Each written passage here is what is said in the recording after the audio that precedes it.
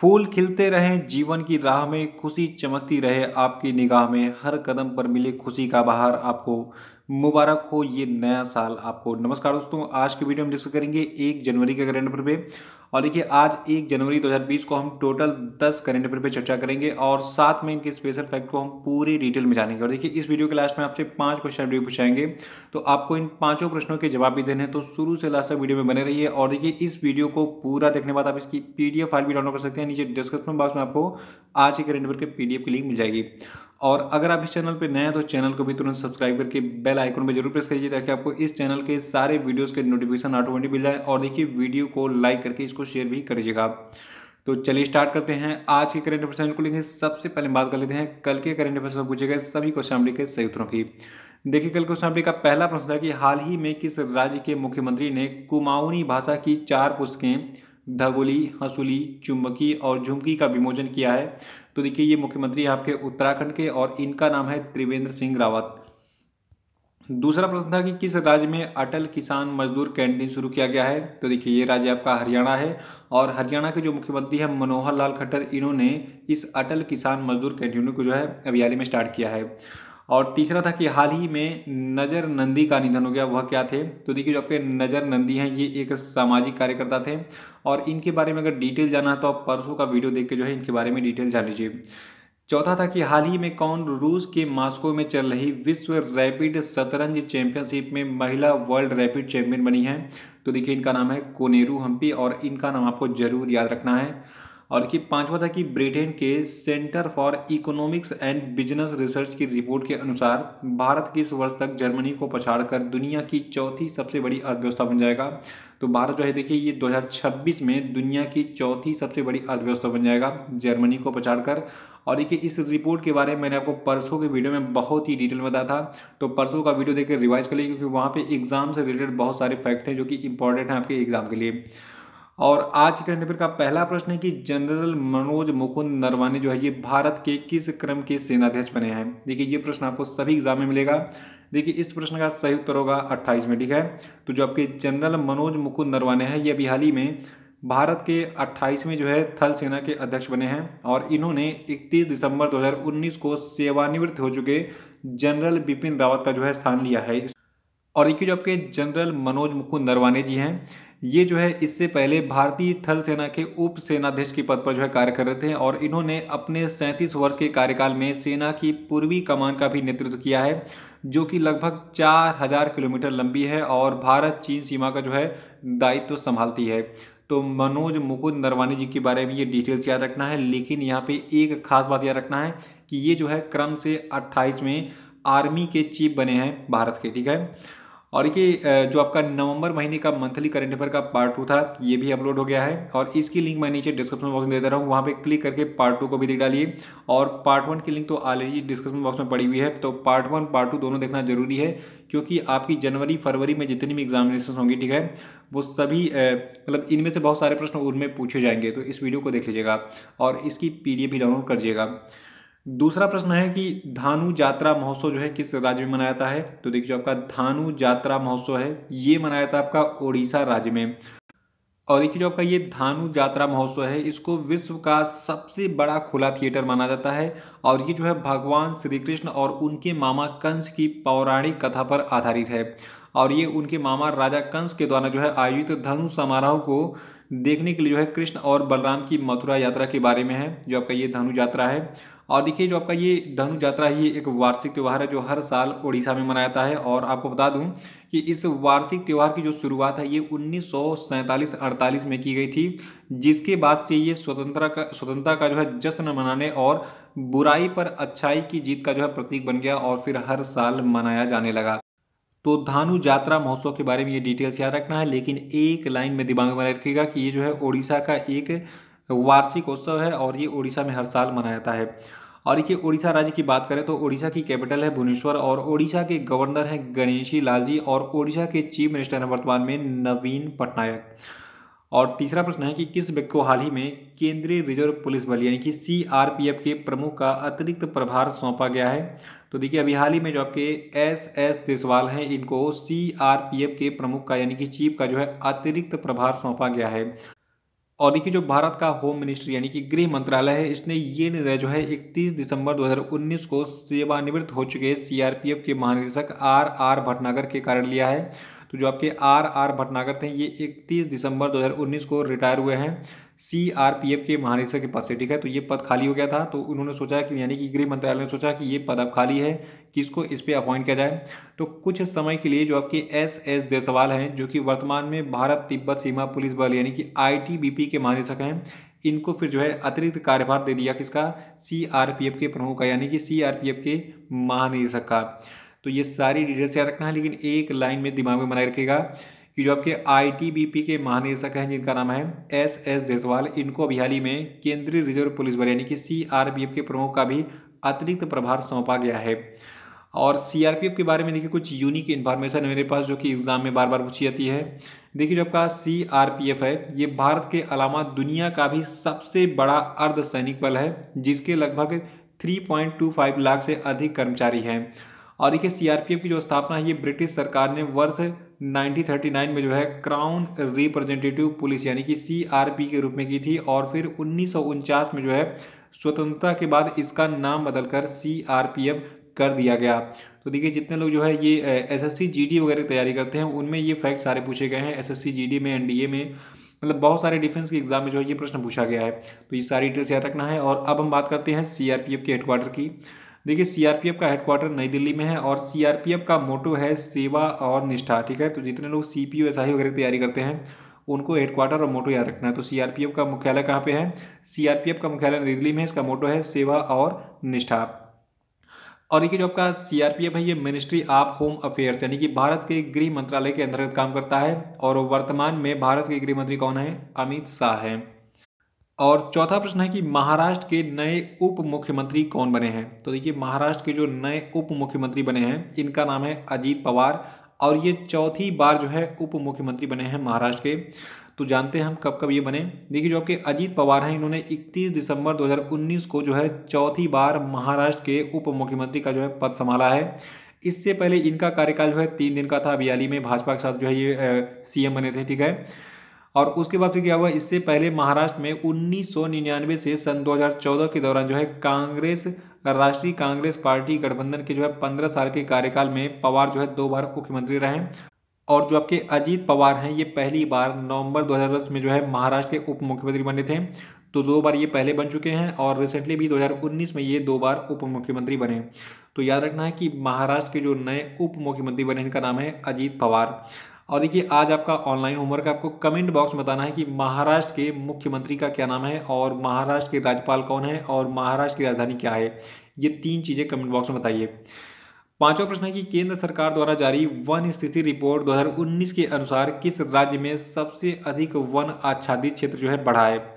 तो देखिए, ये राज्य आपका कर्नाटक है। आपको फिर से बता दूँ कि कर्नाटक में जो है देखिए बिहाली में जो आपका वन स्थिति रिपोर्ट दो हज़ार उन्नीस जारी हुआ है तो इसके अनुसार जो आपका कर्नाटक राज्य है, यहाँ पर सबसे अधिक वन आच्छादित क्षेत्र जो है, ये बड़ा है। और देखिए, जो आपका कर्नाटक राज्य है, ठीक है तो वन स्थिति रिपोर्ट द्वारा उन्नीस के अनुसार जो आपके कर्नाटक राज्य है, यहाँ पर जो है कुल एक हज़ार पच्चीस वर्ग किलोमीटर की वन आच्छादित क्षेत्र में जो है वृद्धि हुई है। और इस मामले में आंध्र प्रदेश दूसरे स्थान पर है, यहाँ पर कुल जो है नौ सौ नब्बे वर्ग किलोमीटर वृद्धि हुई है। केरल में आठ सौ तेईस वर्ग किलोमीटर जो है वन आच्छादित क्षेत्र में वृद्धि हुई है। तो ये डिटेल्स याद रखना है। अगर एग्ज़ाम में पूछा जाए कि वन स्थिति रिपोर्ट दो के अनुसार किस राज्य में सबसे अधिक वन आच्छादित क्षेत्र में वृद्धि हुई है तो आपका आंसर क्या होगा? कर्नाटक होगा। और उसके बाद फिर जो है आंध्र प्रदेश में वृद्धि हुई और उसके बाद फिर केरल में जो है सबसे अधिक वन आच्छादित क्षेत्र में वृद्धि हुई, ठीक है? ये डिटेल्स याद रखिएगा। और देखिए, क्षेत्रफल की दृष्टि से बात करें तो एग्ज़ाम में बहुत बार पूछा गया कि भारत में जो है क्षेत्रफल के हिसाब से देश में जो है सबसे बड़ा वन क्षेत्र किस राज्य में है? तो देखिए, क्षेत्रफल के हिसाब से मध्य प्रदेश राज्य जो है, ठीक है तो मध्य प्रदेश में देश का सबसे बड़ा वन क्षेत्र है। और इसके बाद फिर अरुणाचल प्रदेश का नंबर आता है, फिर उसके बाद छत्तीसगढ़ का नंबर आता है, और उसके बाद फिर ओडिशा का नंबर आता है, फिर महाराष्ट्र का नंबर आता है। तो ये क्रम याद रखना है। और देखिए, आप बता दूँ, जो आपकी ये वन स्थिति रिपोर्ट उन्नीस है, ठीक है तो ये रिपोर्ट जो है, ये हर दो साल बाद जो है जारी की जाती है, जिसमें भारत के वनों और वनी क्षेत्रों की जानकारी दी जाती है। और जो आपका ये वन स्थिति रिपोर्ट है, इससे जुड़े कुछ खास फैक्ट हैं, इनको भी आपको नोट कर लेना है, ये एग्ज़ाम में पूछे जाते हैं। देखिए, वर्ष उन्नीस सौ सतासी से भारतीय वन स्थिति रिपोर्ट को द्विवार्षिक रूप से भारतीय वन सर्वेक्षण के द्वारा जो है प्रकाशित किया जाता है। एग्ज़ाम में ये प्रश्न कई बार पूछा गया है कि जो आपकी वन स्थिति रिपोर्ट है, इसको कौन प्रकाशित करता है? तो इसको प्रकाशित करता है भारतीय वन सर्वेक्षण। और देखिए आपको बता दूँ कि ये जो इस साल रिपोर्ट जारी की गई है, ये जो है इस श्रेणी की सोलहवीं रिपोर्ट है और इस रिपोर्ट में वन एवं वन संसाधनों के आकलन के लिए भारतीय दूर संवेदी उपग्रह, जिसका नाम है रिसोर्स सेट टू तो इससे प्राप्त आंकड़ों का प्रयोग किया गया है। और देखिए, इस रिपोर्ट में सटीकता लाने के लिए आंकड़ों की जाँच हेतु वैज्ञानिक पद्धति अपनाई गई है और इस रिपोर्ट में वन एवं वन संसाधनों के आकलन के लिए पूरे देश में कुल 2200 से अधिक स्थानों से जो है प्राप्त आंकड़ों का प्रयोग किया गया है। और देखिए, आपको बता दूँ कि वर्तमान रिपोर्ट में जो है वनों के प्रकार एवं जैव विविधता, यानी कि फॉरेस्ट टाइप एंड बायोडाइवर्सिटी नामक एक नए अध्याय को जोड़ा गया है। इसके अंतर्गत वृक्षों की प्रजातियों को 16 मुख्य वर्गों में विभाजित करके उनका चैंपियन एवं सेठ वर्गीकरण ठीक है तो चैंपियन एंड सेट क्लासिफिकेशन के आधार पर जो है आकलन किया गया है। तो ये जो आपकी वन स्थिति रिपोर्ट दो हज़ार उन्नीस है, इससे जुड़े ये खास फैक्ट हैं। इनको भी आप नोट करिए इसका स्क्रीन ले लीजिए, इसको ज़रूर याद रखिएगा छठा प्रश्न है कि हाल ही में किस राज्य सरकार ने सरकारी फाइलों को शीघ्रता से निपटाने एवं विभिन्न विभागीय कार्यों में तीव्रता लाने हेतु रन थ्रू फाइल्स प्रणाली की शुरुआत की है? तो देखिए, इस रन थ्रू फाइल्स की शुरुआत की है हरियाणा की सरकार ने और जो हरियाणा के मुख्यमंत्री हैं, मनोहर लाल खट्टर इन्होंने बयाली में इसको स्टार्ट किया है। देखिए, आपको बता दूँ, जो आपकी हरियाणा की सरकार है, इसके द्वारा केंद्रीकृत फ़ाइल मूवमेंट और ट्रैकिंग सूचना प्रणाली के माध्यम से रन थ्रू फ़ाइल प्रणाली का जो प्रावधान किया गया है और इस प्रणाली की जो निगरानी है, ये स्वयं मुख्यमंत्री मनोहर लाल खट्टर करेंगे। तो ये डिटेल्स याद रखिएगा। और अब हम बात करें थोड़ा सा हरियाणा के बारे में। देखिए, हरियाणा की कैपिटल है चंडीगढ़, हरियाणा के गवर्नर है सत्यदेव नारायण आर्य और हरियाणा के मुख्यमंत्री का नाम तो पता ही है, नाम है मनोहर लाल खट्टर। और देखिए, सातवां प्रश्न जो है, ये सबसे मोस्ट इंपॉर्टेंट प्रश्न है, ध्यान सुनिएगा। देखिए, ये प्रश्न आपका है कि खेलो इंडिया यूथ गेम्स का तीसरा संस्करण किस स्थान पर आयोजित होगा? तो देखिए, जो आपका खेलो इंडिया यूथ गेम्स है, इसका जो तीसरा संस्करण है, ये असम राज्य में आयोजित होगा 10 से 22 जनवरी 2020 तक, ठीक है? यानी कि इसी जनवरी महीने में। और देखिए बिहाली में जो असम के मुख्यमंत्री हैं, सर्वानंद सोनेवाल, इन्होंने गुवाहाटी में खेलो इंडिया युवा खेलों की, यानी कि खेलो इंडिया यूथ गेम्स की मसाल रैली का जो है शुभारंभ किया। और देखिए आपका जो ये खेलो इंडिया यूथ गेम्स होगा तो इस टूर्नामेंट का जो ये तीसरा संस्करण है, ये जनवरी 2020 में, यानी कि 10 से 22 जनवरी तक जो है आयोजित किया जाएगा। और इसमें जो है देश भर के एथलीट पार्टिसिपेट करने के लिए जो है गुवाहाटी आएँगे, ठीक है? तो ये डिटेल्स याद रखना है।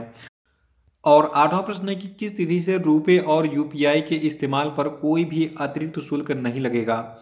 तो देखिए, ये तिथि आपकी है एक जनवरी, ठीक है?